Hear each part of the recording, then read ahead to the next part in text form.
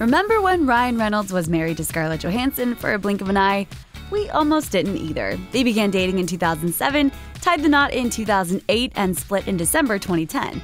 They were both so private and secretive about the whole thing that there's very little photographic evidence they were ever together at all. So, what went wrong? Here are some likely reasons why Scarlett and Ryan didn't go the distance. Threatened. In April 2016, Johansson indicated to Cosmopolitan that competition between herself and Reynolds may have played a role in their split. She told the mag, The logistics of being with another actor are challenging. There has to be a real understanding of how you share your time, especially when two people's careers are going at the same rate.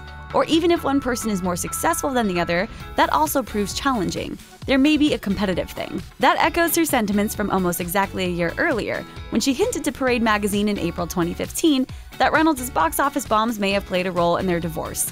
She explained, acting is a very strange world to be coexisting in. It's very volatile. There's always going to be the more successful person. It's related to rejection, because actors, if they're not having success, connect it directly to unpopularity, to the fact that nobody wants them. She added, Marriage takes a lot of work. It takes a man who's not only confident in the love that you have for one another, but confident in what he has going on in his own career. Ouch. Good one. Yep, that's a good one. Commitment issues. After their divorce, Johansson hinted that she may not have known how to handle such a serious relationship. They got together when she was just 23 to Reynolds' 31. She explained to Glamour in 2014 I feel I know now more of what I need in a relationship, what I want in a relationship. And I know I have more tools to communicate, not just with my partner, but with myself. That's not necessarily any reflection of who I was married to or what was happening in my marriage, but really where I was in my life. The more you know who you are and what you want, the less you let things upset you. Personality clash. An insider told In Touch that Johansson and Reynolds started as a case of opposites attract, and that in the end they realized opposites are actually incompatible. He's more traditional and she's more independent. They're both strong willed and stubborn people. There was a lack of warmth between them. That was troubling. He said it sounded like she was yelling at him every time she talked to him. When Scarlett visited Ryan on the set of the proposal, she was screaming at him in his trailer, going nuts. Too private. There are hardly any photographs of Johansson and Reynolds together at all, that seems to be more of Johansson's doing.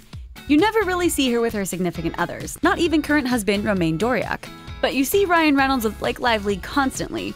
Scarlett's desire for privacy may not have meshed well with Ryan's need for control, according to a source for In Touch magazine. He can be an overbearing control freak. When he wanted her there, he expected her to drop everything and come to him. She got tired of the double standard. Hello, Blake Lively. When Reynolds filmed Green Lantern, sources told the Daily Mail that he began cozying up with co star Blake Lively when he was still married to Johansson.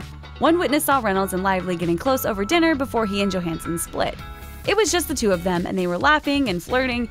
It looked like a date. If you didn't know who they were, you would definitely assume they were a couple. The Daily Mail reports that Johansson was uncomfortable with how close Reynolds and Lively had become on set before any rumors swirled about their off screen romance. And considering that Reynolds and Lively married in 2012, it looks like Johansson's feelings that her relationship was doomed might have been right.